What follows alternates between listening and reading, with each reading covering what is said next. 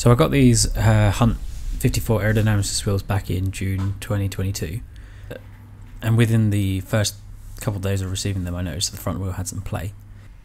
Uh, I hadn't ridden them at that point, so I contacted Hunt, and they suggested I take them down to the nearest bike shop and get it looked at. Um, they said they would cover any of the repair costs and um, spare parts. I did initially go down this route, but uh, life happened. So, seven months on and 2,000 kilometers on the wheels, we are here.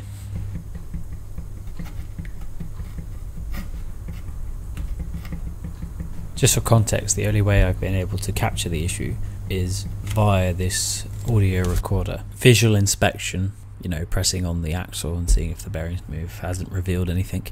And switching out the end caps hasn't provided a fix. So thought it'd be a good opportunity to do a hub teardown and see how it's all put together.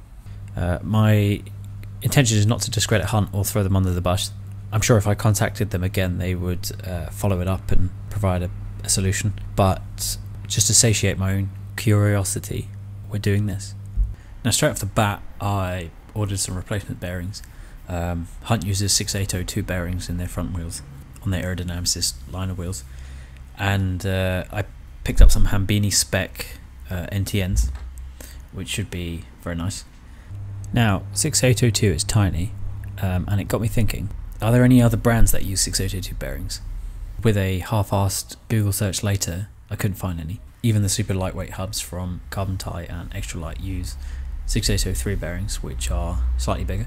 The small bearing on the end, that's the 6802 in the Hunt wheel, and the slightly bigger bearing, 6803, that's the Carbon-Ti and Extralite just mentioned. And right at the end, that's a 6903 bearing.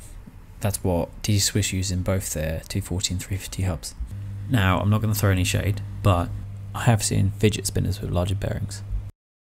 Uh, moving on quickly, I've taken a couple of ballpark measurements of the hub, uh, drawn this up in CAD, and then sliced it down the middle just so we can see what's going on. This is uh, isn't accurate, but it's a good visual representation of what's going on. The hub is simply two bearings pressed in onto an axle. The axle is, from what I understand, is slightly oversized, which uh, pushes out on the bearings on the inner races, creating the preload needed. So the play is likely in the tolerance fit either between the bearings and the axle or the bearings and the hub. Something's moving that shouldn't be, so our best bet is to repress with a new set of bearings and some Loctite. So I have a small amount of knowledge of CAD and a 3D printer, so I made myself out of PLA a bearing drift um, to press the bearing in straight, a spacer to push the axle into the bearing, and a cup or extractor to catch the bearing on the other end. Now, you don't need to do this. If you've got a socket set lying around, a 17mm and 20mm will do you just fine. Oh, and a couple of washers. Now, I started with the centre lock side just because the tool I had has better purchase on that side, and then I used the drift to push the axle through, which pushed out the bearing. Once the axle was out, did a visual inspection. The axle looks very clean, no signs of galling or anything like that. And in fact, it looks like it's had a very easy life. Out of interest, took some measurements, not sure what it says really. No obvious asymmetry or anything like that. Did the same process to get the bearing on the other side out. This one was noticeably stiffer. Popped out with a satisfying ting. Just to be safe, I cleaned everything off with some isopropyl alcohol. I wiped down all the surfaces just to make sure any sort of kind of stray grease or anything that would contaminate the bearings or the seats was out there.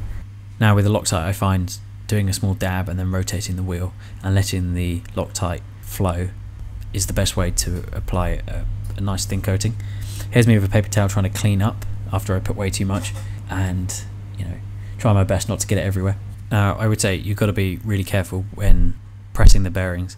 Even the smallest misalignment can cause damage to the hub and reduce the lifespan of the bearing. Because of this I used a metal drift instead to press the bearing in halfway. As you can see the drift mates with the inner race of the bearing which makes it really valuable if you can get hold of one. At this point, if you take the hub and you push the axle into the bearing that's just been seated, you can see on the reverse side the axle will want to sit perpendicular if you apply a little bit of force.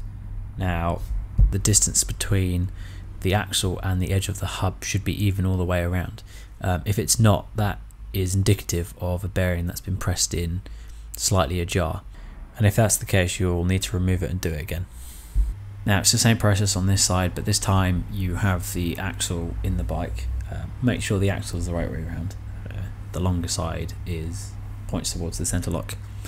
This is where the 3D printed drifts uh, began to show their limits. The plastic PLA compresses slightly, so it lacked the feedback of the bearing being pressed into its seat.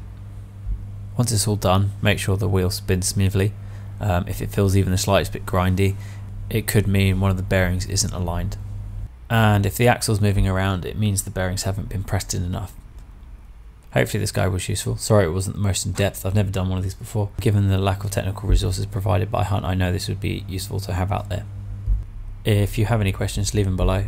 And yeah. I think I've seen oversized pulley wheels with bigger bearings.